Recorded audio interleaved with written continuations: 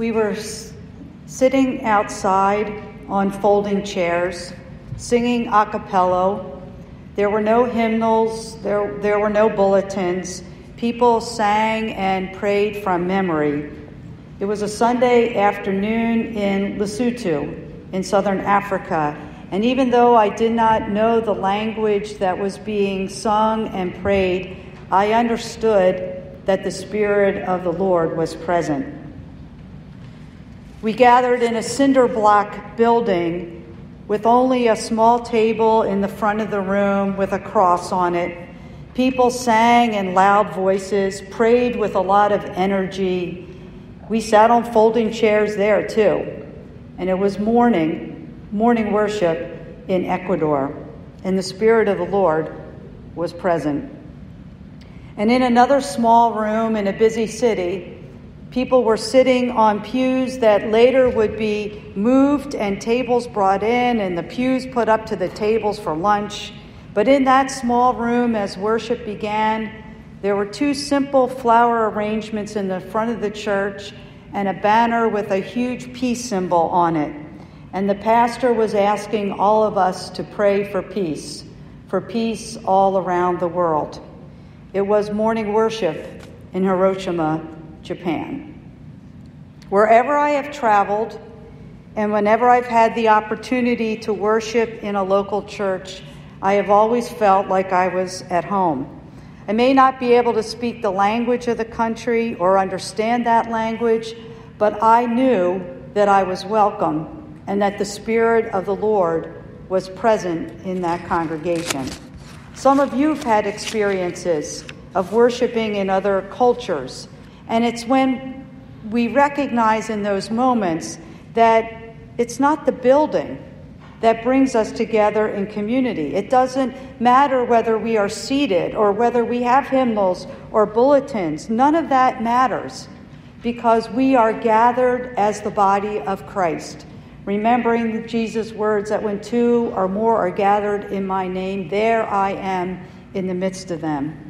You know, the early church had no buildings, no staff, and very few followers. What they had going for them was that they had embodied the Spirit of Jesus. They had embodied Jesus' love and care and grace. And people were drawn to these early Christians because they could see and hear and feel that this was a community of hope and love. They could see that this community embodied those values and those qualities. They could see that the Spirit of the Lord was present. We heard these words from uh, the Gospel of Luke today. This story about how Jesus goes back to his hometown. And he goes into the synagogue, and as Kim said, you know, he's going to read the scriptures. Hometown boy comes back. And he unrolls the scroll, and it comes to the words of the prophet Isaiah that the Spirit of the Lord is upon me, because he has anointed me to bring good news to the poor. He sent me to proclaim release to the captives and recovery of sight to the blind to let the oppressed go free, and to proclaim the year of the Lord's favor. And Jesus reads that, and then he rolls up the scroll, he gives it back to the attendant, and then he sits down.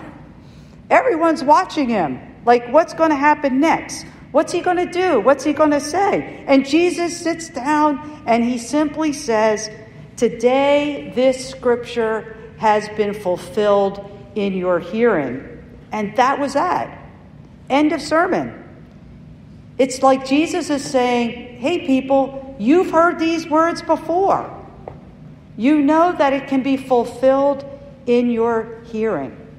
At that moment, Jesus shared his mission, and everything else that happens after this moment, everything that Jesus says, everything that Jesus does, goes back to these words.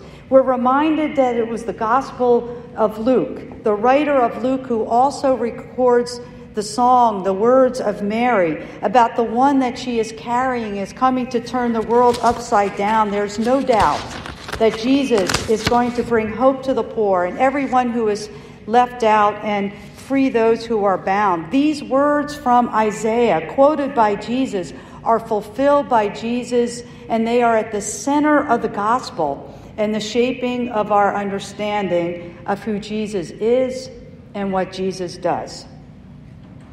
And the implication is that for those of us who claim to follow Jesus, for those of us who proclaim that we are disciples of Jesus, this is the passage that we need to keep going back to over and over and over again as a measure of our work and our ministry. You see, it's not just that the Spirit of the Lord of God is upon Jesus, but the Spirit of the Lord is upon us. The Spirit of the Lord is to be embodied in the church. And we are constantly called to ask ourselves the question how is the Spirit of the Lord being embodied in us? What are we saying? What are we doing that is an expression or an embodiment of what we know in Jesus Christ? How are we paying attention to all of those who are imprisoned? How are we paying attention to all of those who have been harmed by the culture, the poverty, and all the isms that we can list? What are we saying and doing that proclaims new beginnings for those who have failed or struggled or who have been pushed aside?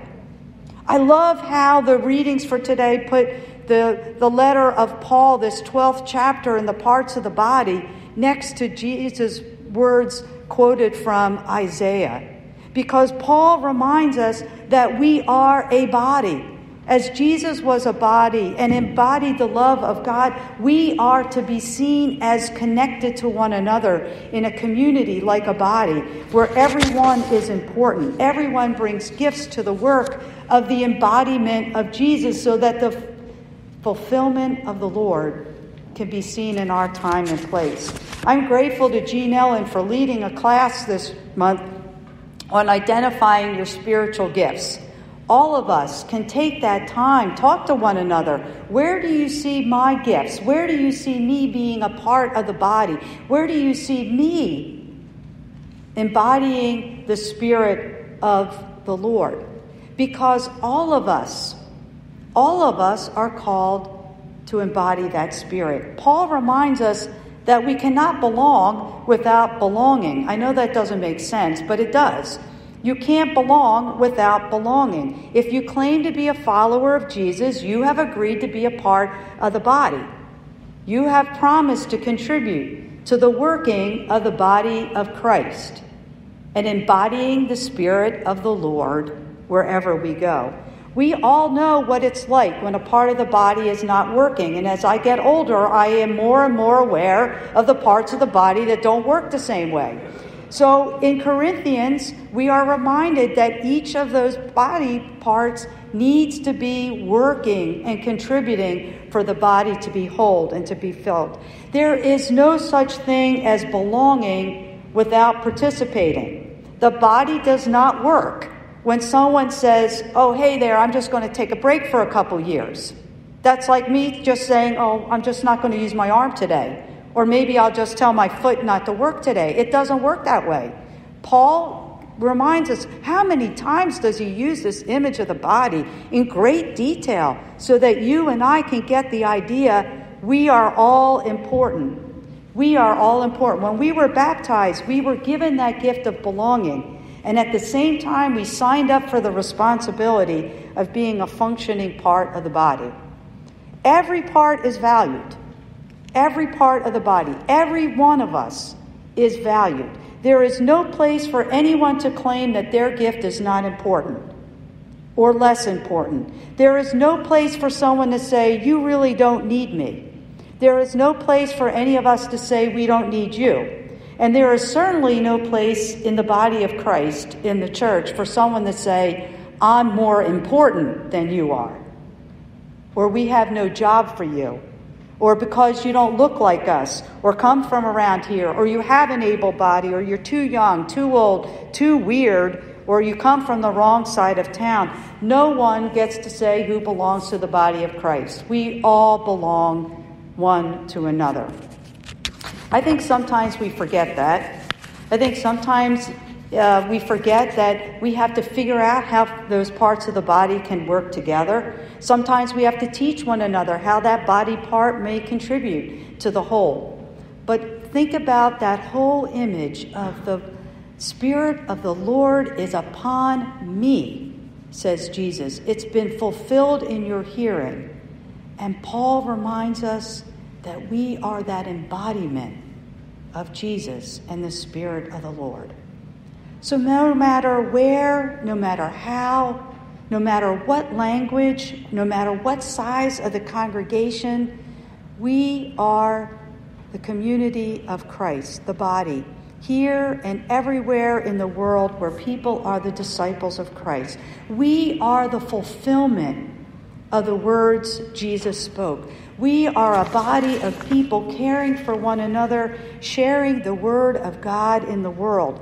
Can we read these words today and claim them for ourselves? That this scripture is fulfilled or being fulfilled in our hearing, in our life as a church and a congregation. When people see you or when they see me, do they see Jesus? Do they see and know that Jesus is present?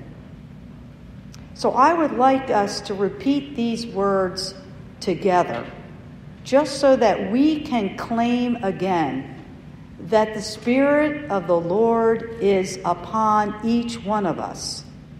And we are called to embody that Spirit in the world. So, will you join with me as, and repeat these words after me? The Spirit of the Lord is upon me. The Spirit of the Lord is upon me because He has anointed me, because He has anointed me to bring good news to the poor, to proclaim release to the captives, recovery of sight to the blind, to let the oppressed go free, to proclaim the year of the Lord's favor, to proclaim the year of the Lord's favor.